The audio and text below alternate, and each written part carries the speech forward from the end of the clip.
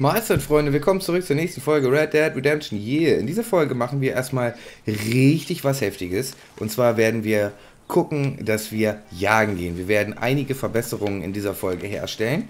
Und es wird wieder eine ganz lange Aufgabe.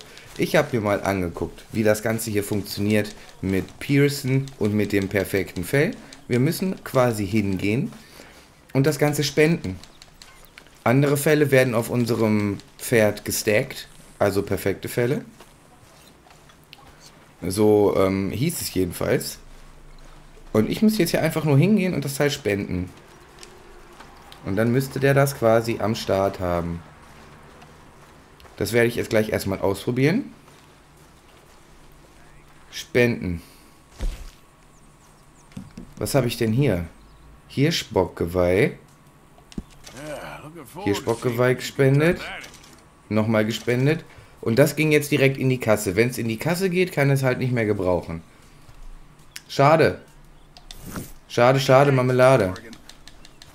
Da habe ich aber auch gerade auf Pferd klicken können. Vielleicht, wenn ich das Ding auf das Pferd lege und dann nochmal hingehe, vielleicht zählt er das dann direkt an. Yeah, yeah, yeah, it's Arthur. Nein, nicht Verbesserung. Doch, Verbesserungen, da müssen wir gleich auch mal kurz rein. Aber wir gucken bei Spenden. Da oben stand eben Pferd. Ah, Wapiti-Fell. Perfekt. Schau, es hat geklappt. So. Und jetzt kann ich für die Herstellung spenden X drücken. Es ist nicht in die Kasse gegangen. So, jetzt gucke ich auf Verbesserungen. Und jetzt möchte ich natürlich da unten ein Wapiti-Fell. Perfekt. Jetzt brauche ich nur noch ein Hirschbockfell und ein Hirschfell. Und dann kann ich diese Taschen herstellen. Tasche, die ich herstelle, wird quasi auf die andere Tasche drauf gesteckt. Und ich kann mir, glaube ich, nur das Äußere hier aussuchen. Weiß ich gar nicht. Am Ende wird, glaube ich, das unsere Tasche sein, weil die ist so lange gesperrt, bis wir alle, ähm, oh, die ist aber auch geil, bis wir alle Sachen freigeschaltet haben. Aber ja, wir konzentrieren uns jetzt erstmal auf die Tasche für die Tonika. Und das ist quasi noch ein Hirschbockfell und ein Hirschfell. Das Wapiti-Fell habe ich in der letzten Folge gejagt. War mehr oder weniger ein Zufall. Ähm, ich weiß nicht, ob ich es reingeschnitten habe, weil ich die Folge noch nicht gecuttet habe. Ähm, wir werden uns jetzt erstmal... Ähm, ja, Munition haben wir auf jeden Fall noch genug, das weiß ich.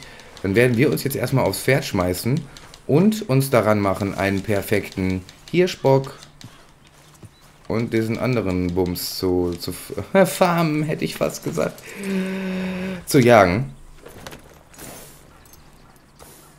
Und dann würde ich sagen, sehen wir uns gleich bei der Jagd. Bis gleich. Alles klar, hier ist ungefähr die Stelle. Und dann wollen wir mal gucken. Also die Teile hier sollen schwer zu fangen sein. Dafür sollen sie aber häufig vorkommen. Wir wollen mal gucken. Spuren von den Burschen noch nicht wieder am Start. Ich glaube, hier über den Hügel können wir gerade noch mit ein bisschen mehr Geschwindigkeit gehen. Ich weiß auch nicht, ob die hier immer noch sind, weil wir jetzt halt geschlafen haben. Aber wir, da sind sie.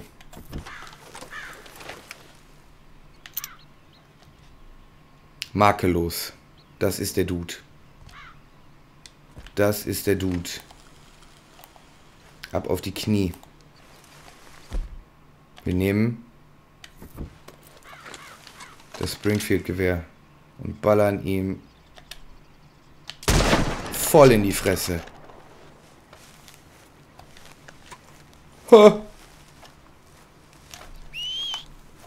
Okay, das war easy. Jetzt wollen wir mal gucken, ob das auch geklappt hat. Ganze an. Weißwedelhirsch. Ich weiß nicht, ob das ein Bock ist oder so. Oder ein Hirsch, weiß ich nicht. Meh. Ich nehme es einfach mal mit.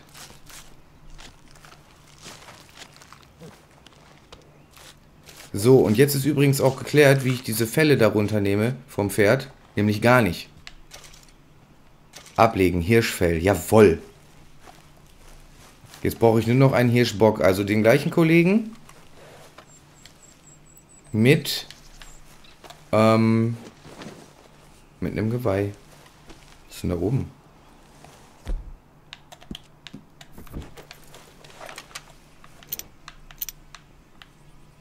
Was ist er denn für ein Kollege? Ja, ich weiß es auch nicht. Hm. Was geht denn hier so ab?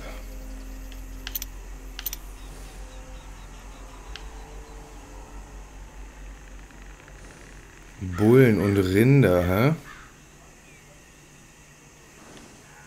Florida Cracker. Makellos. Er ist der Bulle. Infoanzeigen. Here for Bulle. Auch makellos. Ja, die gehören mir natürlich nicht, ne? Nochmal Infoanzeigen. Benutze ein Scharfschützengewehr.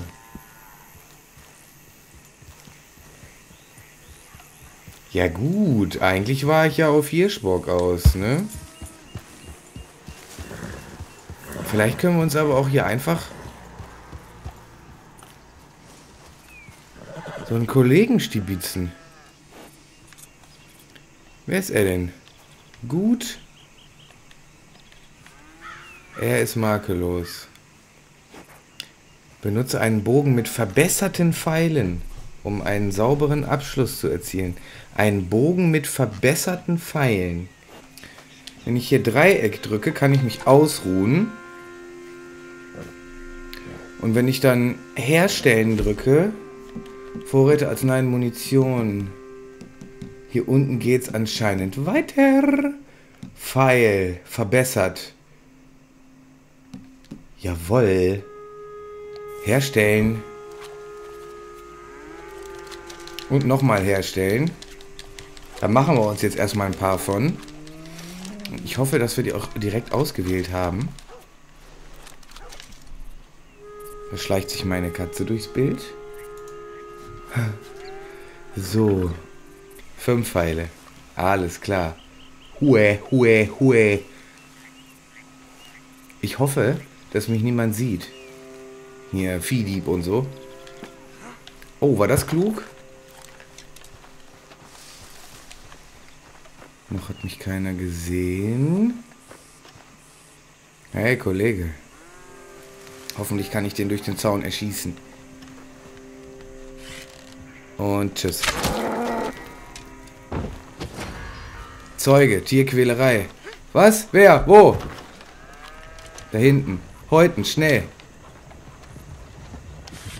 Scheiße. Oh oh, das gibt Schläge. Das gibt gleich eine Schießerei. Gesucht, Verbrechen gemeldet, ich wusste es. Perfekte Rinderhaut. Komm, lass mich hier bitte rüber.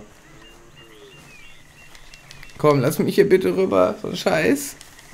Hier ist ein Tor. Ist da vorne auch ein Tor? Oh oh. Ermittlungen. Da kommen die, die Chakos. Scheiße. Haha. okay.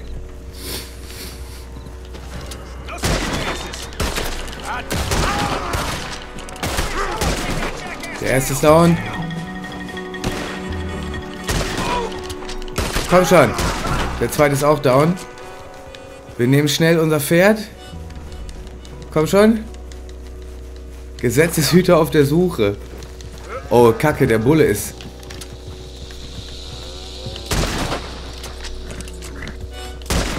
Ich muss den Bullen bumsen. Sorry, tut mir ja übel leid. Aber ohne diese Aktion hätte ich jetzt mein Fell nicht gekriegt. Ich kann das gleich bezahlen. Ich kann das gleich bezahlen. Ne? War das halt eine echt teure, perfekte Rinderhaut. Und wir verstauen. Oh, da kommen die nächsten. Schnell, schnell, schnell, schnell, schnell. Und tschüss. Und tschüss.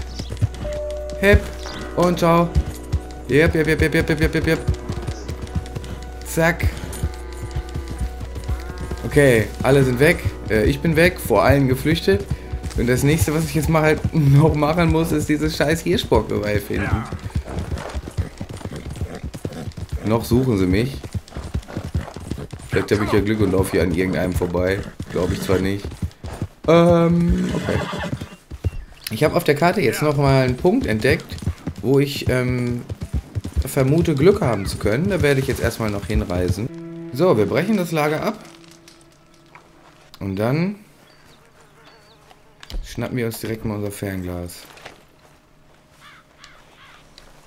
Geh da mal hoch. Kann ich nicht auf den Baum klettern? Das ist aber enttäuschend.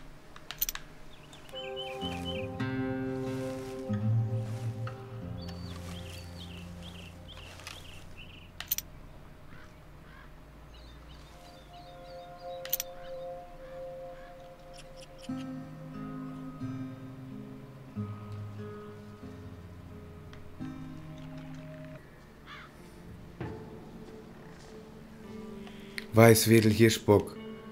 Oh Mann, schon wieder nur gut.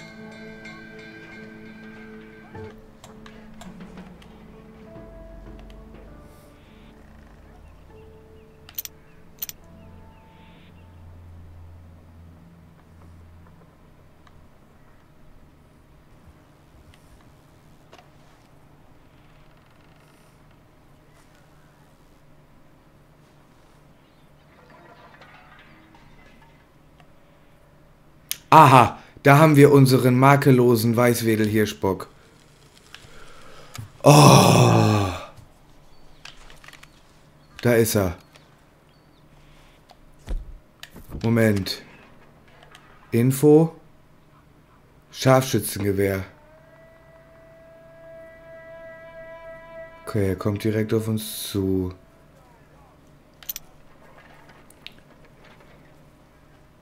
Geht nach links. Geht nach links. Gucken, wann das nächste Mal stehen bleibt. Guckt sich um. Und geht weiter.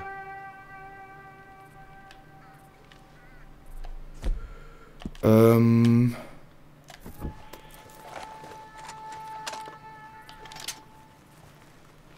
Nee. Ach.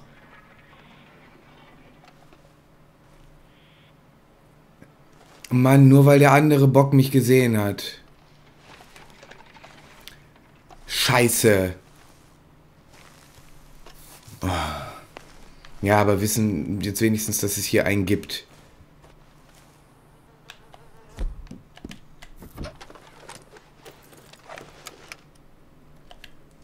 Jawohl, das ist er. Waffen. Gewehr. Du musst nur einmal hochgucken, Kollege. Nein, was ist denn da jetzt rechts rot?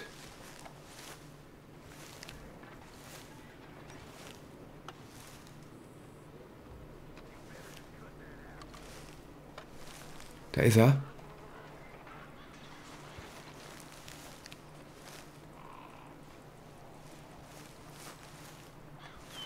Nein, er hat mich entdeckt.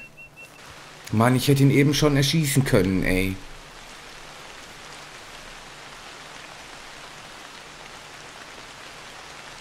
Äh. Alter, ist er das? Nee.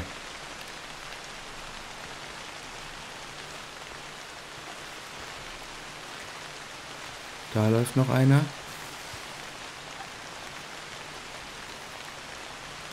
Wo ist er? Da steht er. Da ist er. Da ist er die dritte.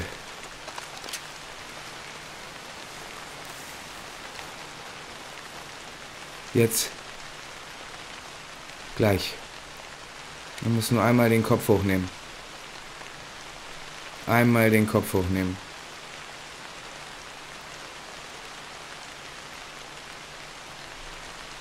Ah.